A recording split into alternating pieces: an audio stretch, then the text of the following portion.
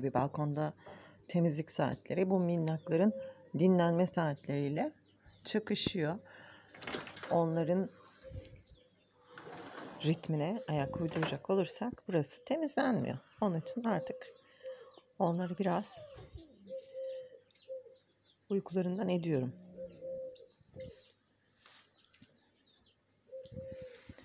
Kuvvetli rüzgar ve güneşten dolayı perdemizde epey yıprandı. Fiyatları daha yüksek yani çok ucuz fiyatlı ürünler değil bunlar. Ve dayanmıyor da. Yani çok çabuk yırtılıyor. Rüzgarlı havalarda direkt toplamak gerekiyor. Biz de ona dikkat etmediğimiz için sürekli böyle sabit kaldığı için böyle parçalandı. En son dün kuvvetli bir rüzgar vardı. O zaman şu ip de kopmuş.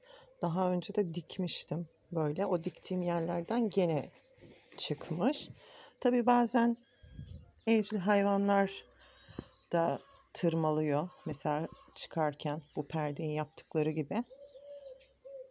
Yani sadece ısı ve güneşten dolayı değil, dışarıdan bir müdahaleden, bir kuvvetten dolayı da yırtılıyor. Bunların daha dayanıklı ve beyaz renkte olanları var. Sanırım onlar daha iyi.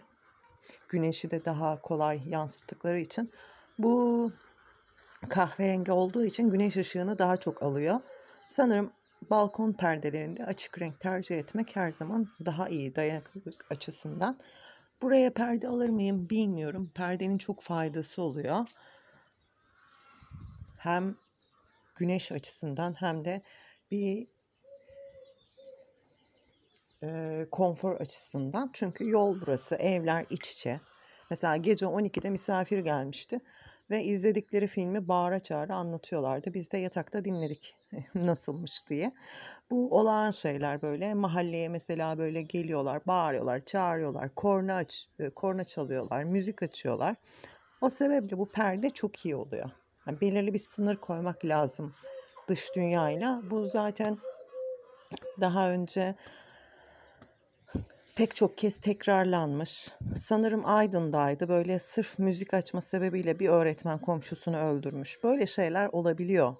Ee, ufacık şeylerden insanlar çok hmm, kötü olaylar yaşıyorlar. İşte bunun altında yatan sebep de bu olayların hep uzun süre olması. Yani bir yıl boyunca mesela gece 12'de geliyor evinizin yakınında bazı kişi ve kişiler bunun en acı tarafı da bu kişiler çoğunlukla kadın oluyor ve anne oluyor. Ee, genç olanlara bakıyorum. Özellikle görevi toplumun huzurunu, sükununu sağlamak olan kişiler oluyor. Bu da beni çok derinden yaralıyor.